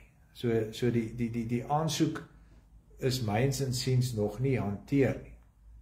Het maar Walter dit dit raak nou tegnies en nou wil nou nie al ons planne uitrafel hierso nie, maar hier's 'n probleem. Daar's nie meer aansoekers nie. En daar's da, daarom nie meer likwidasie nie, maar nou het ons 'n uh, 'n uh, 'n datum wat die keerdatum is waarby nou moet geargumenteer word, moet hierdie maatskappy Tarimix finaal gelikwideer het. Intussen tyd is daar volgens uit uh uh ondervragings van mense wat op 'n basis gebeur wat ek dink nie konstitusioneel is nie wat ons vroeër bespreek het. Maar jy sê die aansoekers hulle getuig dat op 'n wederregtelike manier uh, is daar van hulle goedhartigheid gebruik gemaak om te sê maar luister hierso jy's 'n nice ou jy het geld by Louis jy wil dit terug hê. Right net teken net hier 'n paar papiere en skielik is daar 'n likwidasie en baie baie mense word meegevoer en daar's vyandgroepe en Desi Bokdrol wat CP Lombard te skry nog daar's nog 'n toetredende ou gewees miskien kan jy net vir ons dit sê. 'n derde persoon wat toegetree het wat dadelik ook gesê nee ek wil nie deel wees van hierdie likwidasie nie. Kan ons miskien net daaroor praat vir 'n oomblik? En ek wil nie name ek nee, wil nie mense weer ja daar was daar was 'n 'n 'n verdere applikant wat 'n 'n kennisgewing van uh, 'n uh, toetreder. Maar nou kan ek net kan ek ja. net jou vra, is ja. dit moontlik as daar reeds applikante is wat onttrek het, is daar moontlik dat hulle op dieselfde aansoek kan toetree terwyl daar reeds 'n onttrekking is? Nee, nee in my opinie nie. Onthou jy kan nie uh, uh, op uh, jy kan nie 'n dooie perd weer ry nie. Onthou nou die oomblik as hy nou teruggetrek is, die saak dan is dit mos Praat jy nou van my ex-meisie? nee, as jy as 'n saak teruggetrek is, is dit mos nou sy einde. Daar sekerre die partye se name is voor die hof op die hofstukke op die kopstuk. Daardie partye se saak het tot 'n einde gekom. Maar as daar nou nuwe aansoekers is en onthou dit is 'n aansoek om tussen beide te tree. Met ander woorde, die feit dat jy 'n kennisgewing aflewer beteken nie jy is al klaar 'n party tot die aansoek nie. Dit beteken die hof moet jou nog toelaat as 'n party. En uiteraard sal ons daardie aansoeke dan nou opponeer. Ons het nou ongelukkig soos ons vandag hier sit nog nie 'n enkele aansoek gekry nie. definisie van 'n aansoek, 'n kennisgewing van mosie ondersteun deur 'n eetsverklaring. So ernsster moet 'n applikant weer 'n eetsverklaring aflê waarin die applikant homself dan nou vereenselwig uh met 'n likwidasie aansoek en vir die hof redes gaan gee hoekom hy moet toetree. Nou uiteraard as as ons sal so 'n aansoek sal ons beveg uh met kostes. Want persoonlik my opinie daar is nie meer 'n aansoek waar waarby jy kan betrokke raak nie. Okay, ons het hulle dalk nou slim gemaak, Walter. Dis nou die een nadeel daarvan dat mense deursigtig probeer besigheid doen en daarom wys ek pakkies en ek wys diamante en wys ek myne en vat ek myntoere en probeer ek mense inlig, maar Tanstini sit natuurlik met 'n gebrek aan airtime. Sy sit by die huis, sy weet nie noodwendig wat aangaan nie. Die bottom line vir my is Walter en twee mense hier. Ons kan nog baie lank hieroor praat en ek bedoel baie baie dankie vir julle tyd. Walter, dankie. Jy gaan my nou weer overcharge hier so op hierdie tyd. Baie dankie vir die feit dat ek baie keer kan liberties vat en en en en gesels soos hierdie want dit gaan vir my oor die waarheid. En hier is miljarde rande betrokke. Hier is miljarde rande betrokke. En as jy dink dat mense se lewens op die spel is, miljarde rande betrokke en dinge word so deur howe, deur likwidateurs deur prokureurs van likwidateurs hanteer. Nou wil ek by by 'n ding kom wat my stories. Is daar nog iets wat jy wil byvoeg Walter? Ek gaan vir julle elkeen geleentheid gee en dan gaan ek afsluit. Ek kan nog baie praat. Nee, dit is gemaklik. Is daar nog iets wat jy wil sê? Ek graag nog iets van nou wat ek voel ook nogal swaar op my hart lê oor die ek met eerbaarheid uh of manier waarop ehm um, Jan uh die ja, jager die uh applikante wat julle wil noem uh die twee seuns uh gewerf het. Daar's onder andere vir hulle gesê uh teen tye en en Roan sit daai kan uh, vir my net beam ehm um, wat hier gebeur het. En dit was dat ehm um, hulle is al soos 'n wortel voor die voor die mond of vir die neus gehou. Deur ehm um, hulle hanteer soos julle weet ook die MTI likwidasie aansoek, né, Louis? Ja, seker reg. Dis reg. Ja. Ja, wel hulle is een van die partye partye daar's likwidateurs ja. daar. So, ehm um, Roan ehm um, en ek dink Jean-Ray is albei ook was daar beleggers gewees by MTI. Ja. En ehm um, daar's toe ook hulle dadelik genoem dat ehm um, hulle is bewus dat hulle daar is en hulle gaan ook nog uh, geroep moet kan word deur daai 416 of wat ja, julle dit? 417 ja, ja. en uh, met bewyse lewer van wat het hulle in en wat het hulle uit. En ja dit kan nogal redelike implikasies uh, vir hulle inhou het hy nou gesê. Maar ehm um, hy hy sal uh, hierdie hierdie hierdie hierdie MTI ding weghou van hulle af dat dat hulle nou nie daardeur geraak word nie. Ehm um, Ja, ek gaan vir julle nou die hele ding verder vertel en ek hoop dit kom uit in die media en die media maak hierdie goed bekend. Want net die helfte, nie eers 'n tiende van die waarheid kom ooit in die media uit nie, maar mense skryf storieetjies wat hulle opmaak. En hier is nie 'n storieetjie nie. Ek praat omdat ek uit my hart uit praat die waarheid. Ja. En dit ek sal nooit in my lewe iets sê wat ek nie 'n feit of 'n bewysstuk vir het nie.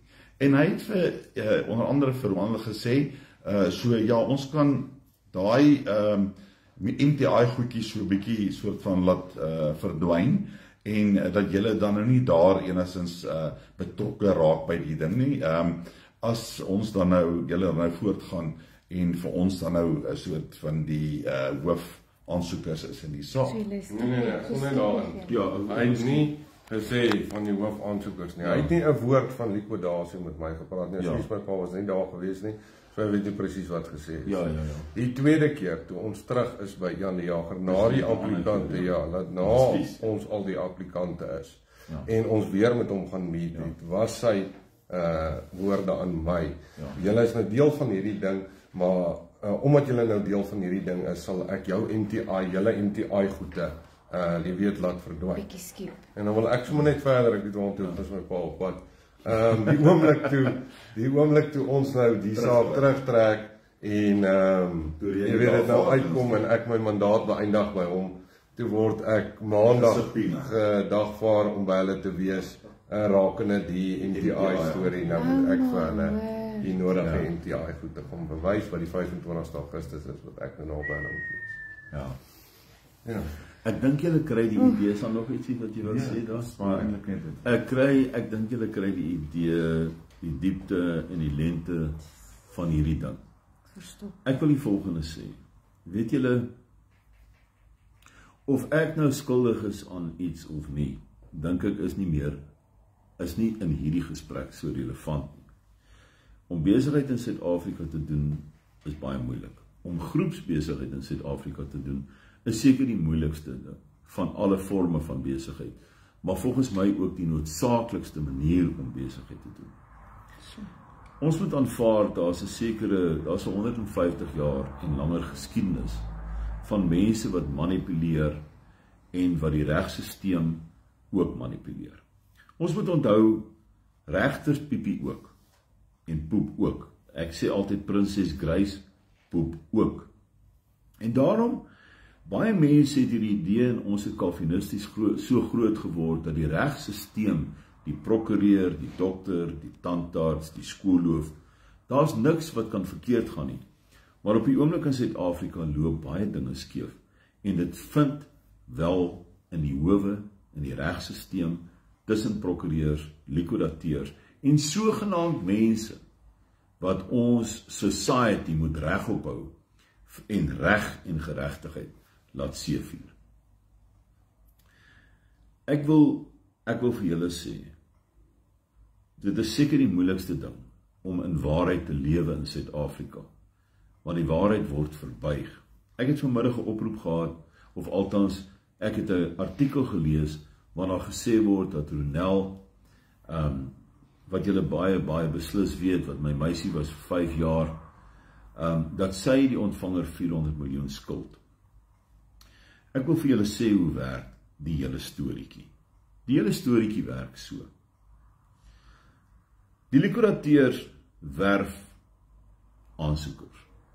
Hulle is op 'n witch hunt, hulle is op 'n witch hunt van Oktober verlede jaar af. En hulle soek iemand om 'n aansoek te bring. Uit 44000 mense gaan jy baie beslis iemand kry. As 'n likutateur vir hom sê, "Man, jy kan jou geld terugkry en ek gaan vir jou plan maak en ek gaan hierdie doen en ek gaan daai doen." Teken dit hier, teken dit daar, ons gaan hof toe. Of selfs soos in hierdie geval nie eers dit sê nie. Maar ons weet op die oomblik die likurateurs het sommer daar gesê, "Ag, daar's 13 ander." Wat nou? Jy kan ons hele database. Inteendeel Tian van iSwitch het so ver gegaan om ons hele database aan almal beskik, beskikbaar te stel, reg of verkeerd. Nou ek weet nie hoe iSwitch nog kan bestaan. Hoe Tian se besigheid nog kan bestaan deurdat mense weet hulle data word vir die hele wêreld bekend gestel nie. Maar meer nog.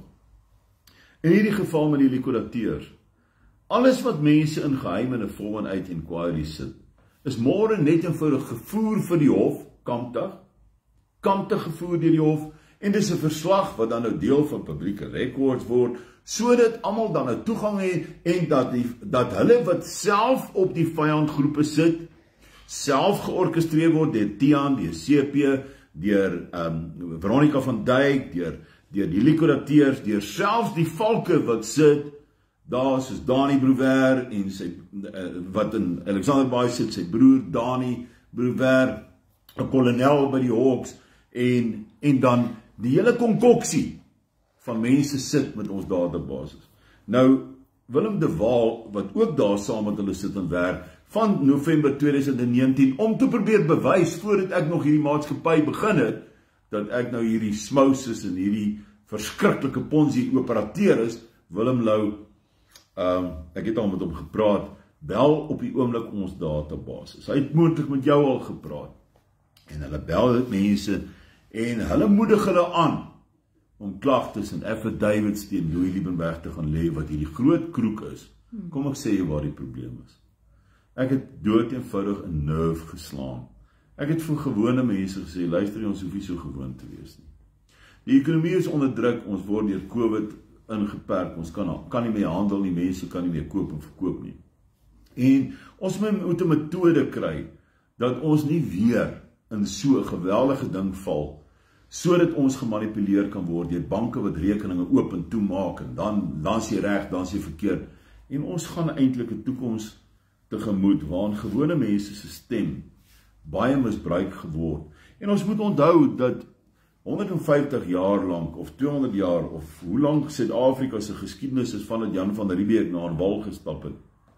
Het 'n klomp mense 'n regstelsel gebou, wette en statute daar gestel wat ek en jy moet gehoorsaam en ons moet want ons is kalviniste en ons wil God behaag en ons wil tog net nie ek onthou nog my ouma het gesê my kind my kind Janne staan tog net op want die ou tannie wil sit en ons word geleer om te staan en te sit en dit dit En so en ons wil tog net reg, as die dominee inkom, dan moet almal se haartjies gekam word en ons moet ons sixpence reghou want hy die diaken kom op. Hulle worry nie oor die res van die mense as die diaken en die dominee en die prokureur en die likurateur aankom. Nee, dan moet ons nou mooi reg op sit.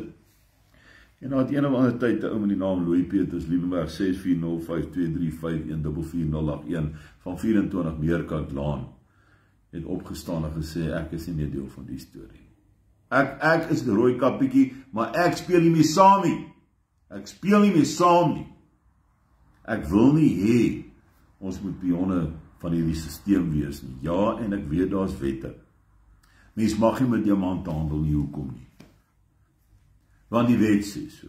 Mens mag nie met goud handel nie. Jy mag nie meer as 16 kreerande in jou huis hê nie, dan is dit onwettig. 'n Mens moet so blerry pas op en jy mag ook nie 'n deposito neem in 'n instansie wees nie. Jy en jou pelle kan nie bymekaar kom en vir mekaar sê, "Luister, kom ons doen besigheid. Ons is besig om te sien dat rentekoerse ons doodmaak.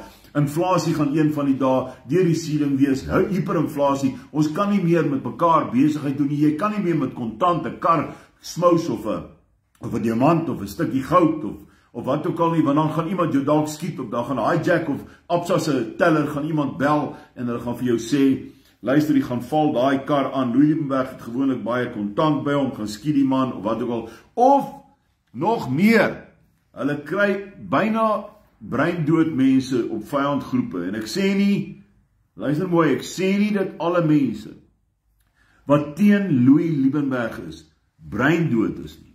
Ek is besig om te sê dat mense kan meegevoer word.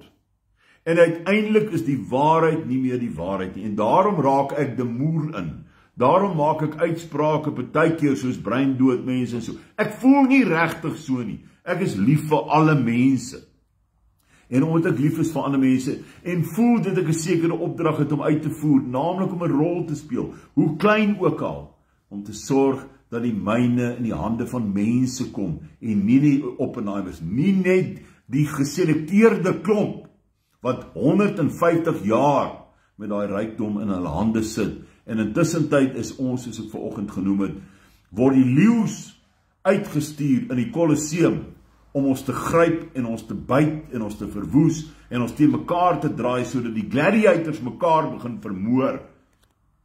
En uiteindelike met hulle hande opsit, ons het iemand anders se kop afgeslaan, maar môre is dit jou kop wat op die spel is. Val dit die hele regstelsel aan nee, daar sekerre maatskappye wat moet gelikwideer word omdat dit brood eenvoudig nie moontlik is vir hom voort te gaan nie. Maar om 'n man te gryp en om sy mynpermitte te probeer aanval of dit weg te neem of 'n Walter te vertel hy's hierdie groot skelm of hy's 'n bedrieger. En daar is 100 in in die 30 hoeveel nou Desie? Ons nee, hou nie net by 200 ag 200 ekskuus amper 30 se maar. 230 of meer artikels. Ons ja okay nie meer nie. om en by 230 artikels van Oktober af geskryf oor een man en oor een man se naam is Louis Liebenberg. Haai. In die rapport 6 artikels OK, in, in een Sondag rapport was daar net 6. Daarom net 6 hierdie keer daar was al 9. In een rapport, in een rapport Media 24 oor een man. Mense sweer ek is 'n massamoordenaar. Hmm. En intussen tyd word hierdie goed deur leuns gedryf. Soos vandag vir julle gesê word. En my vrou word bedreig, my kinders word bedreig. Daar word fotos deur hele vyandgroepe Tanya Venter geplaas waar my kind se foto gesit word nou 2 dae gelede gaan kyk maar daarna sy sal lekker gery word my kind weet jy wat sal ek uiteindelik doen En dan moet julle nie kla nie. Wat sal uiteindelik gebeur? Ek gaan my kinders begin beskerm met my lewe. Met my lewe. Omdat as jy voel ek is die oortreder, vat my aan. Vat my hof toe. Laat ek in 'n bench gaan staan vir 7 tot 10 jaar. Kan ek vertel hoe ek hierdie besigheid sien en waarheen ek wil beweeg?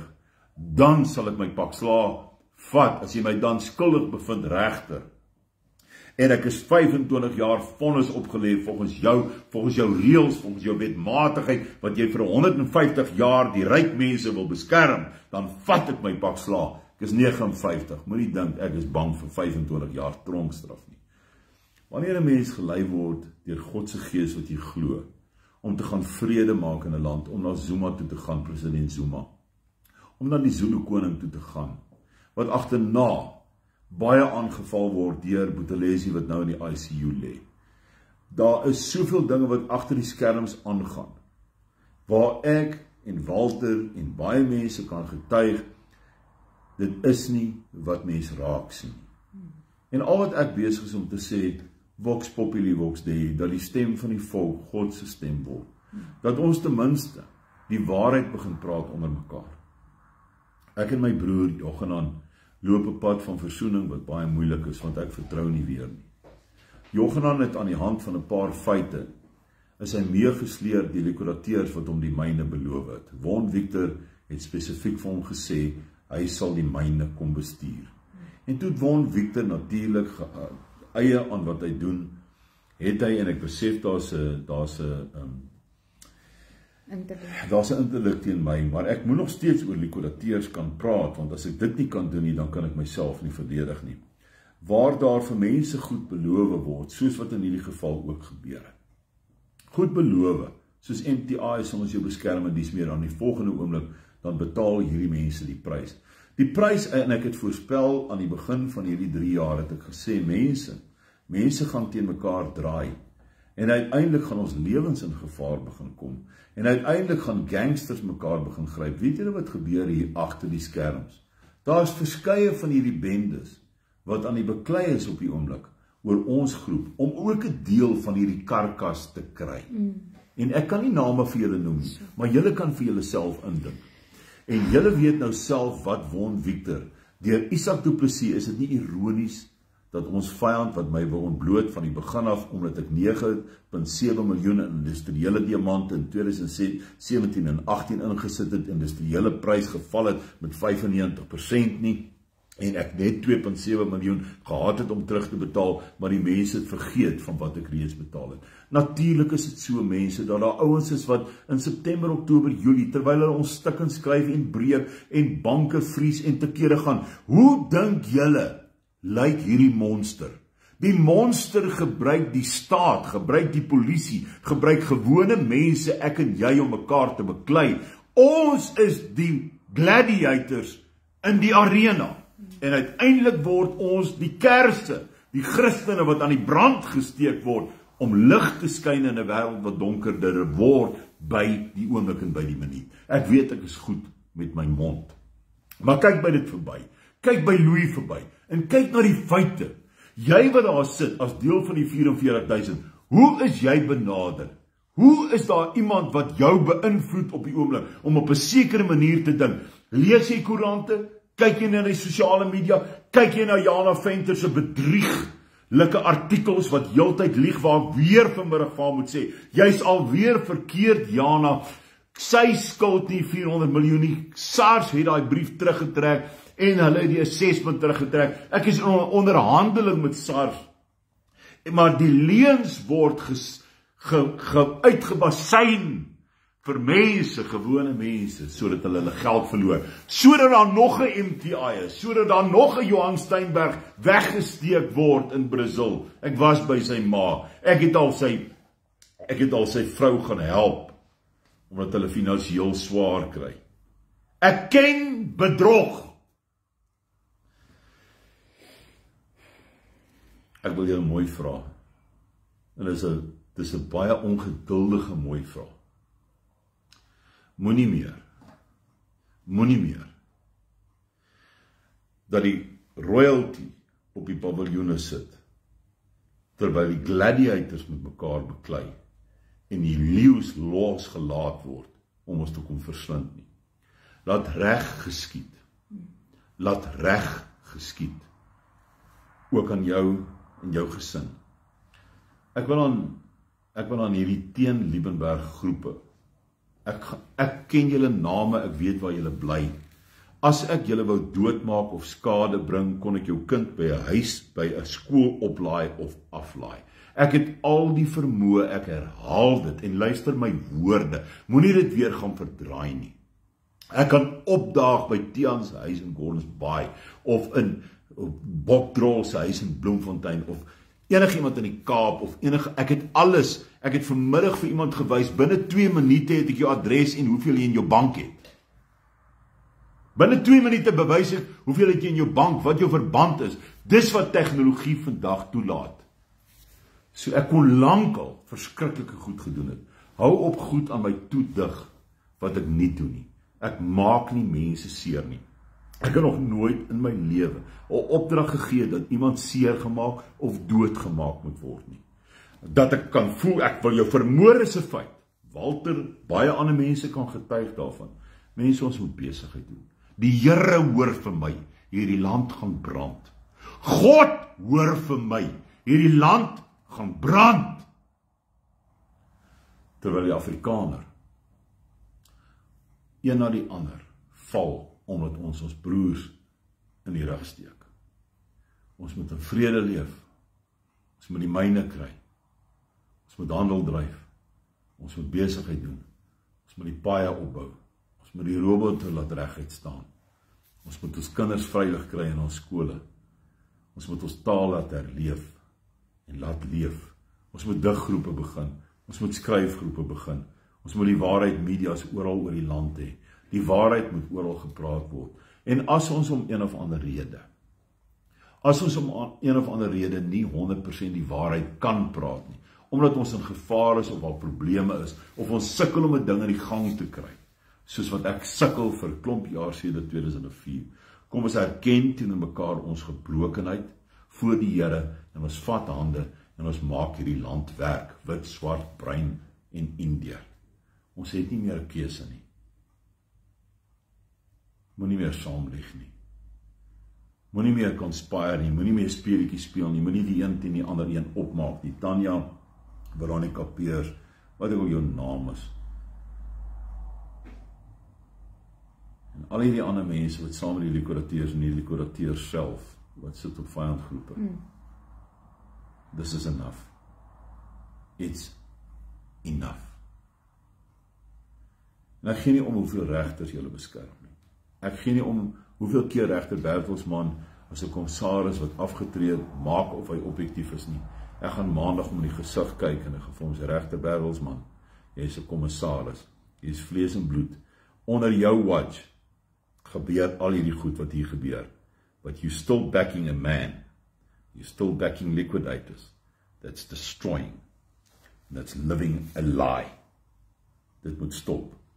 In kort, die Namakwalander sê, die kak stop hierso. Vat my ernstig, maak 'n joke van my, maar die kak stop hierso. Ons moet besigheid doen. En ons moet mekaar respekteer. En al hierdie nonsens los. Alle groepe wat besigheid doen, menere, dames, kan nie ponzi skemas wees nie. Dis God se moontlik. Ponzi skemas het nie diamante nie. En die verskriklike catch 22 waarna hulle my wil sit is aan die een kant wys ons die diamante, aan die ander kant ons vat dit. Terwyl ek wil hê dat ons beleggers noem dit dan nou so uiteindelik die voordeel kry van 'n land wat baie ryk is sodat ons die minerale rykdomme in die hande van gewone mense kan kry. Dankie dat jy na hierdie lang relaas en dankie Desi dat jou gat deurgesit is op die lesenaar. Dankie vir Walter vir jou objektiewe insette. Dankie meneere. Ek waardeer dit. Werklik. En as ek julle skade aangedoen het. Hmm. Wel, wel kom ek sê verskoning dat ek jou foto op Facebook gesit het. Maar ek dink vandag kan mense werklik met respek na jou kyk. En ek wil jammer sê, ek wil sê vergewe my dat ek so hard veg dat ek baie keer mense slaan wat ek nie eens wil slaan. Ek kan baie verskoning. Baie lief. Baie liefde vir jou en joune. Mag die seën van die Here Jesus Christus, mag sy genade en mag sy vrede deel van jou huis wees. En ek is jammer dat jy ook op risiko gekom het. Ek sal eer jou as 'n man der manne. Dankie dit. En mag Baie baie dankie. hierdie aanvalle teen jou wegval en dat God ons alleen God is net hy wat jou kan vrymaak. En hierdie ding kan maak werk. Jy weet, dit is gewoon bly is om hier te sit en en jou in lewende lywe te kan ervaar. Uh jy kom baie anders ter voor op Ja. video's. moet ek sê. En, Ja, mense kry 'n wanindruk van wie jy is en wat jou hart is eintlik baie Ja. klein en Ja. dankie vir die geleentheid en ons aanvaar jou verskoning. Baie baie dankie. Lekker dag vir julle. Lekker aan. Tata.